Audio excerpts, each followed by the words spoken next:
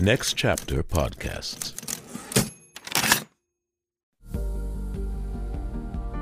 Hey, Play On Podcast listeners. I want you to be a part of the cast. Become a supporting cast member with Play On Podcasts for just $5 a month. Get in depth interviews featuring some of the most brilliant artists working today. I talk to actors, playwrights, directors, and producers from the worlds of theater and Hollywood, pulling back the curtain on why they got into their profession, why these stories are so relevant today, and providing context on the process of making these plays in the podcast format. You'll enjoy ad free episodes of the Play On podcast series, and maybe even a gift or two. Head over to playonpodcasts.com click Supporting Cast and join the club today. We so love creating this content for you, and we hope you'll support us so we can bring you inside this rejuvenated, reimagined Shakespearean world. Join the cast. Supporting Cast. Go to ncpodcasts.com. Hi. I'm Michael Goodfriend, executive producer of the Play On podcast series at Next Chapter Podcasts. These productions begin with the translation of the text into modern English verse by the playwright who has been commissioned through Play On Shakespeare. Often, that playwright works closely with a dramaturg. And it's my pleasure today to have both of those people with me to talk about the Play On podcast series, Twelfth Night. This is part two of my interview with Alison Carey and Lezlie Cross.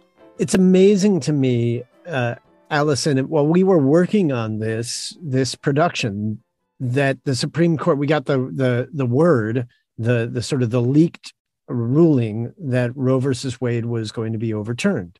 Alison, what was that like for you? Uh, uh, did you make that that sort of connection when you got word of this ruling that that we that that it correlates to this play did did it affect you in that way i think the religious um the the the power of christian fundamentalists in our country is so profound a threat to the our ability to function as a democracy. Um, well, I did not connect it to this place so much in that moment that, you know, where we were all got on the Zoom and we're like, oh, um, I think it is below everything that we do in this country, um, this constant tension. And the ease with which Malvolio is sort of dealt with by the other characters um, the the play ends with Malvolio saying, "I will be revenged on the whole pack of you," and are we seeing Malvolio get his way in the United States of America in 2022? We we certainly are. I think that's a very apt observation, and I think it's in some ways it's the way.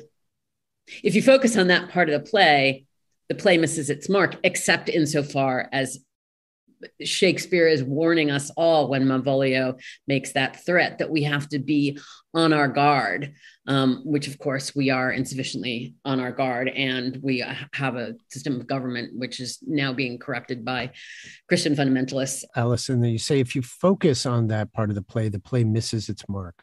Why? because the Malvolios of this world are more powerful than we'd like to imagine them to be. So if you're saying that that that the making light of Malvolio, the the the comedy of Malvolio, um, if you focus on the comedy of it, it doesn't it doesn't Really... Yeah, because he's he's fairly easily dealt with. And so again, I have to correct myself and say that Shakespeare in this warning of Malvolio saying I'll be back, Malvolios keep returning and keep returning and keep returning.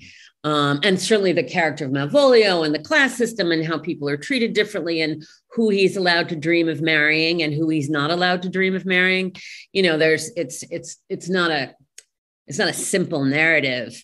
Um, but to connect it to the political and the way, I mean, there's there's there's so many connections between um, the characters of any great play and the the the moments the the common moments and the common shortcomings that human beings share um, across centuries um, is is is all there but i do i do think it's a it's a it's a warning piece and i do i mean i think just talking about the play one of the things I think, especially that Chris Christopher Liam Moore found finds in this play is the sort of deep grief that is everything in it. Um, everybody is suffering so profoundly, and the the idea, right, that from this you know time when it's cold and gray this reminder that through the grief of whatever loss and pain you are experiencing in your life you can renew yourself and you can find love and you can learn new things that you didn't know about yourself um, that is that is a that is the engine of this play right so insofar as malvolios are powerful that's a terrible thing. It's also a reminder that to overcome the Malvolios is possible because you can continue, you can at the worst of times find renewal in the company of fellow human beings. Um, and I and I'll say one more thing because I'm this is something I feel so passionately about. You know, I think one of you learn from the text. You can learn and learn and learn. And i would say when we were recording michael you, you, know you were there there would an actor would say a line and i'd be like oh oh i just kind of understood that line for the first time. Like and this is i've been working on this play for a long time. So you know there there is always that that constant learning. But i i think there's so much in the text. There's so much in this in the way that the actors voices illuminate the text. But the one of the great things about theater is that it's an example of how human beings can function together right? It's the most collaborative most human of art forms. And it is it is it, it, the miracle that a whole bunch of sort of chaos agents which because yeah, all human beings are chaos agents manage to like put on a play, everybody work together, like get it done. And by opening night, when you're never really ready, but here you are and you're like all together. And then you you connect with the audience and everybody's in it all together. And that power of connection, it is so profound in the moment of creating theater and of experiencing theater. If we could carry that sort of collaborative enthusiasm and possibility of world creating outside of our rehearsal rooms and into our lives and into our legislative halls and into our courtrooms the belief that it is this collaboration and connection that makes us humans at their best that that is why i keep returning to theater because this this it gives me strength and it shows me every day the possibilities of human collaboration and imagination. And also say that I, I think that that's a little bit that that Alison's tapped in so beautifully, and Chris Chris Moore also um, uh, into what I think some what Shakespeare was going through during this period of time because he had twin children, uh, a boy and a girl, and uh, his son died at the age of eleven.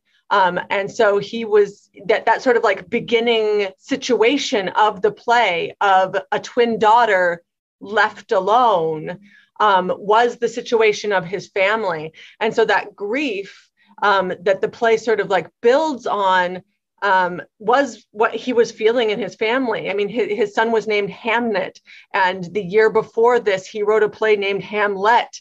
Um, and so, like that that grief um, uh, is so in there, but he turns that grief into hope and into song um, uh, in, in, probably one of the most musical plays um, uh, he ever wrote. But there's also that that tinge of melancholy in there with that that final moment, with the Malvolio moment, and with the um, with Feste's final song um, uh, that that that has that sort of like rich humanness to the grief and hope and possibility of this piece. I want to ask about a character that uh, you mentioned, Lezlie, Feste, and music. Can we talk about Feste and and what Feste really represents in the in the dramaturgy of the play? Um, and I'll, I'll start with you, Alison. Tell us tell us who Feste is to you. Um, I'll mention that uh, Feste is played by Rodney Gardiner in this yeah. podcast. So, um, Fe- Feste, part of Feste will always be Rodney Gardiner because can you imagine a better life?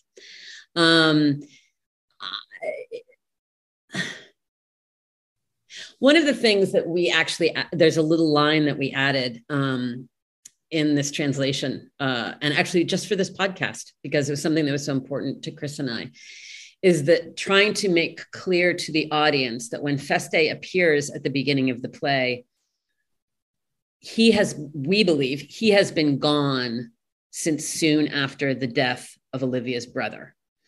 So when he returns, and I don't want to give away the plot, but for for your listeners, you know, his return to you know our, our theory is that Feste was very good friends with Olivia's brother and was overwhelmed with grief and left the home for months, who knows how long. And then, so when he comes back at the beginning of the play to the household, his, his presence starts the renewal process. Um, and certainly Viola's presence, uh, you know, is, is the plot engine, right, of the beginning of the neural process. But I think Feste is sort of the outside world who opens the window and lets the sun start to come in. Um, and it, it, it, the example of him having, he sets an example for everybody that you can reclaim your sense of self in the face of grief. Lezlie, where do you think Feste originated in in Shakespeare's writing? Was there a, a, a clown in the company that that Shakespeare was writing for? Was there a person in society at that time that Feste might represent? Yeah, so so Shakespeare worked with two major clowns um, uh, through his career. The first was Will Kemp, um, who was uh, famous for uh, dancing for nine days in a row um, from like Canterbury up somewhere else. Um, so it was called the Nine Days Wonder. Um, and Kemp was really good at jigs, A, um, uh, and uh, little quips and like little sort of funny moments. Um, so Kemp was the clown in Shakespeare, the first part of Shakespeare's career. By the time we get to here, um, we have a new actor in the, the clown role, and his name was Robert Armin.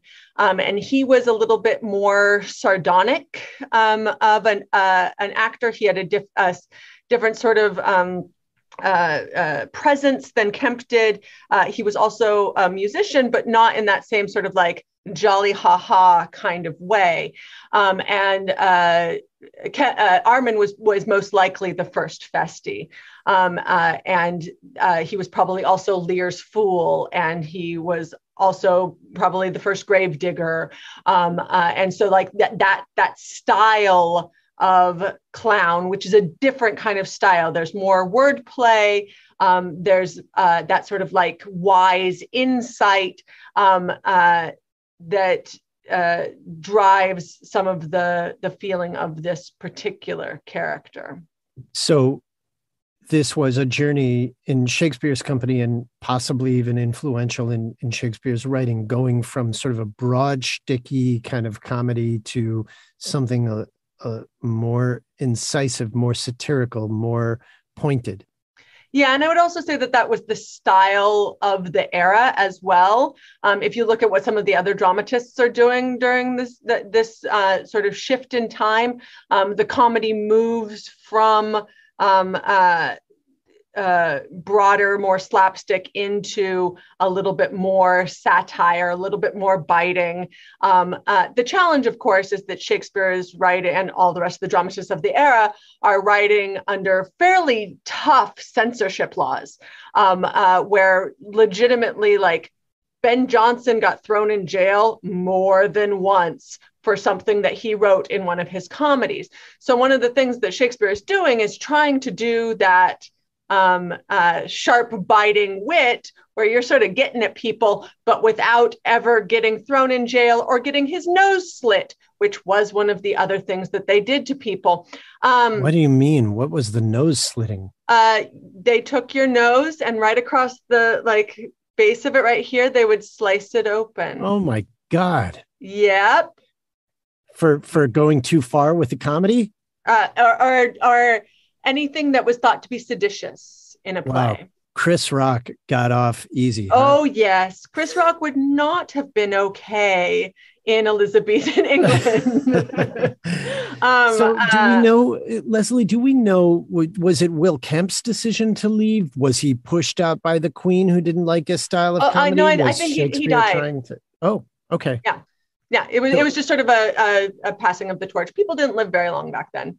Um, so Will Kemp died, and it opened up this this yeah, new vein, this new era, which was also part of where the style was going. I mean, we're moving into um, uh, dramatists like Thomas Middleton, who co-wrote Timon of Athens with uh, William Shakespeare, who was a much darker dramatist. We're moving into much more of the revenge tragedies of John Webster.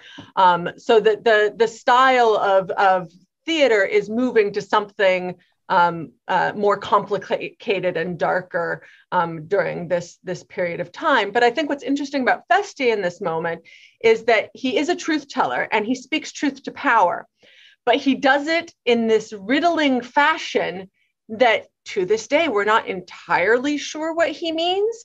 And I don't think the Elizabethans were either. And I think that's part of what kept Shakespeare safe. There is no record of Shakespeare ever getting in trouble because of something he wrote. There are records of almost every other dramatist of the era getting in trouble because of something they wrote.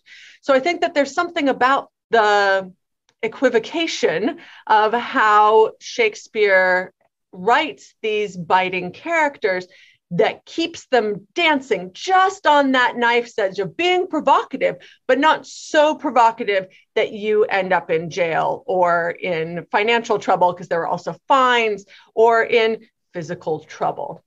Um, I also want to sort of add that um, very early on in this, we haven't talked about this at all yet, but uh, very early on in the process, Alison and I um, we're sitting down we're at martino's which is the the bar across from the oregon shakespeare festival where many of us have sat for many times.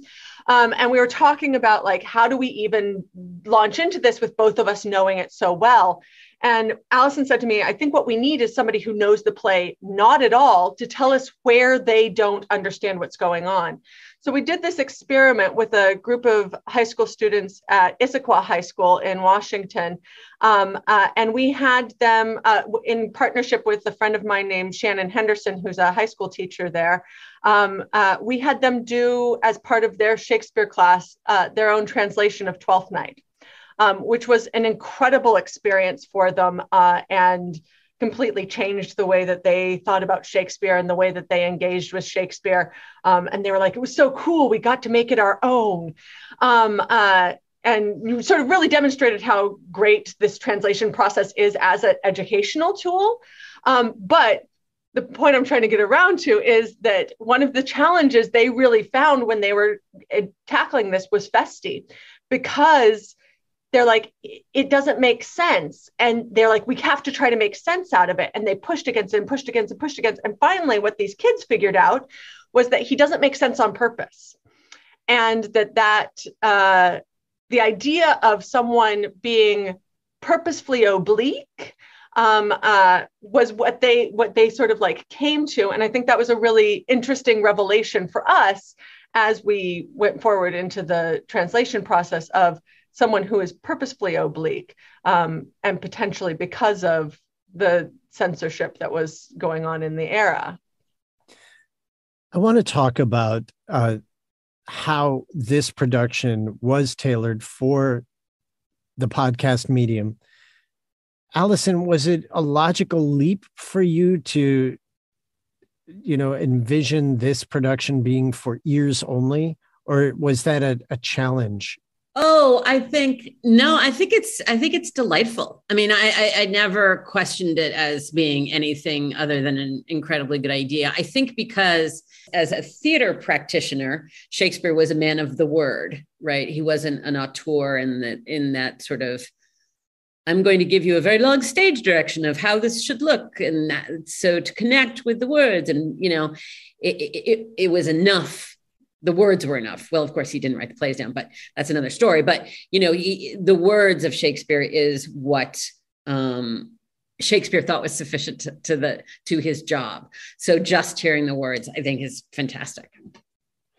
Well, and it, Lezlie, correct me if I'm wrong, but uh, from what I know about the Globe Theater, which is where Shakespeare's plays were presented mostly, right? The the there were plenty of people who could not see what was going on yeah, I, so this this play was originally performed um, at the, the at court, so it would be at the Inns of Court, um, uh, but sightlines were not their uh, immediate uh, uh, worry.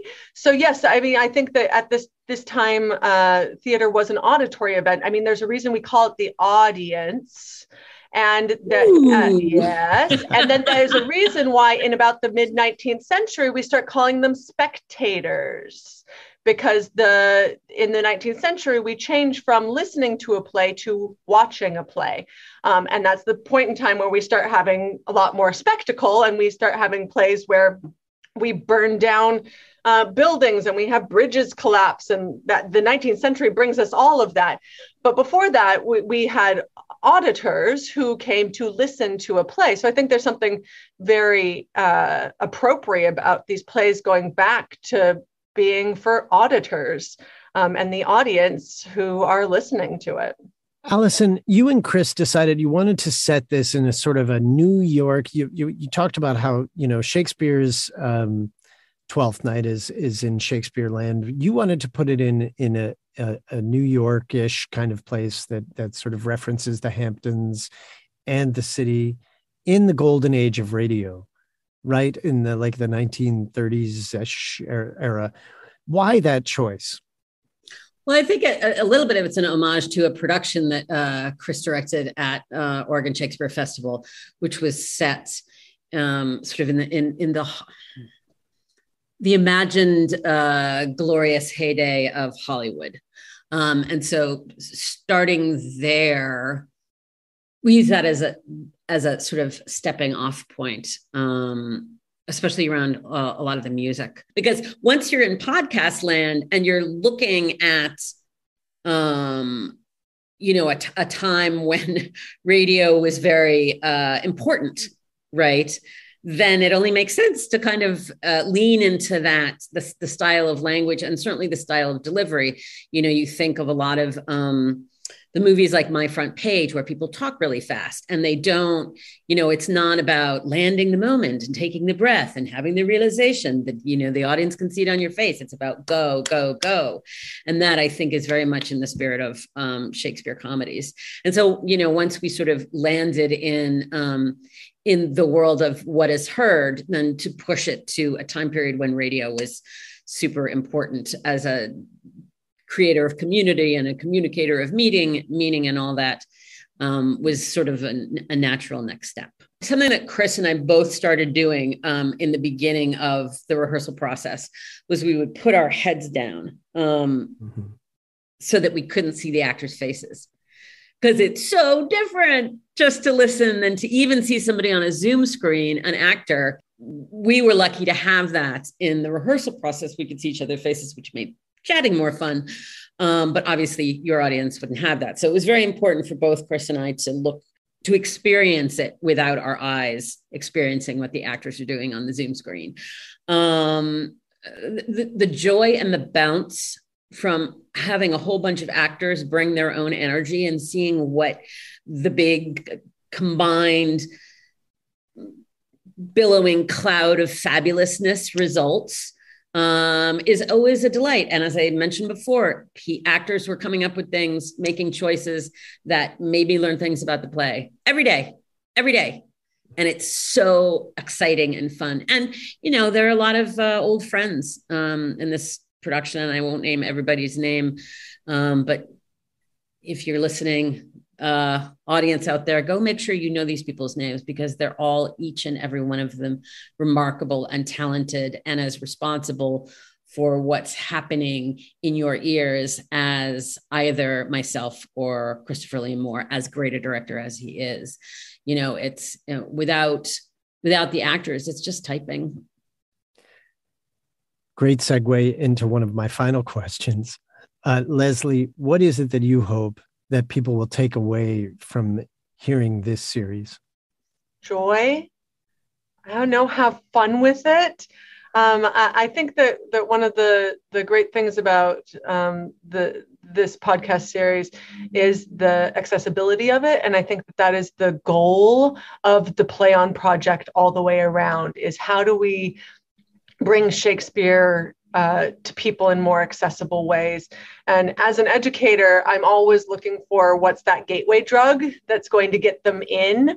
Um, and uh, I would love for for this piece to be one of those gateway drugs for someone that that then they decide they want to take that next next Shakespeare step in uh, and start exploring the plays more because there's a lifetime of riches there. Um, uh, so somebody with two degrees in this subject. Um, uh, and so there's there's there's just so much to explore. And um, and the beauty of these plays is that you can revisit them over and over again and they renew themselves in remarkable ways. I'm actually directing 12th night in the spring. Um, uh, and it will be different than all of the other 12th nights I've been a part of because I, we will have that unique chemistry of that group of actors with that particular text and this particular audience in our space.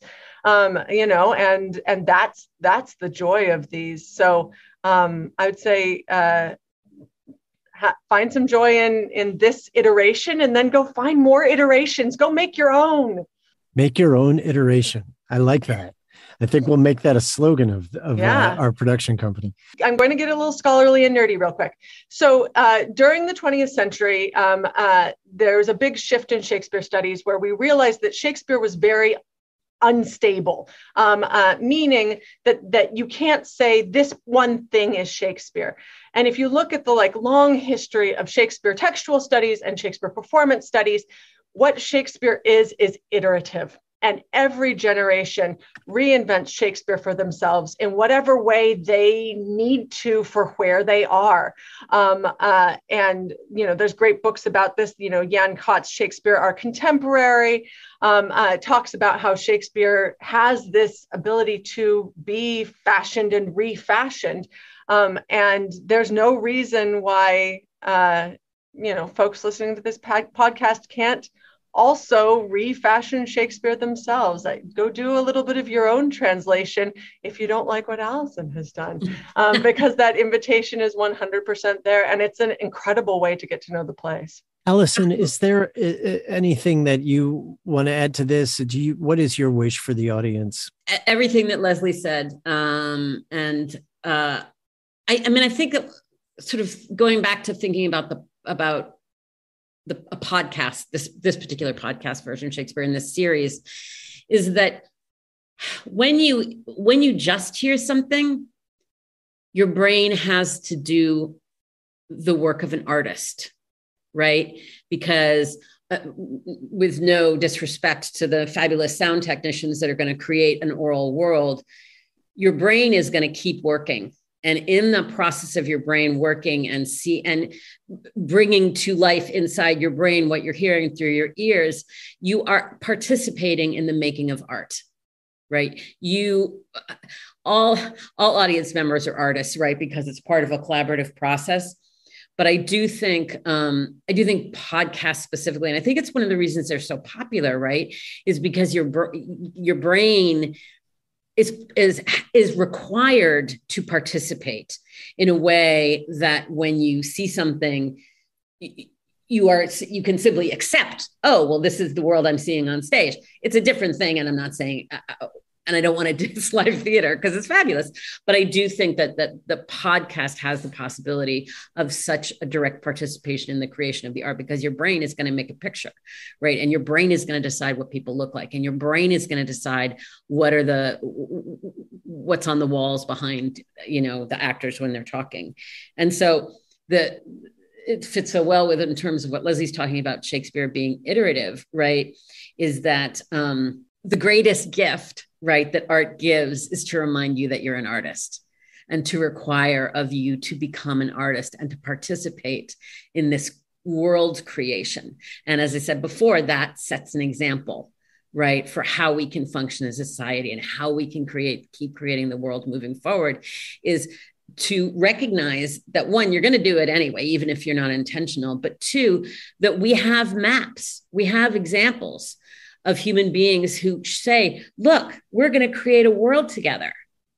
And once you believe that world creation is possible, and once you believe the example that art making sets for you, and once you participate, whether hearing it through your headphones or being on stage or however, how when you participate in this making of art, then you remind yourself of the possibilities of being a human being and being a human being in society with other human beings. We'll leave it there because what more could possibly be said? Uh, Alison Carey, Lezlie Cross, it's been a real pleasure having you with me today and being a part of this discussion. I am sure it is edifying and elevating and inspiring for our listeners as well. It's been a real pleasure having you. Thank you so much.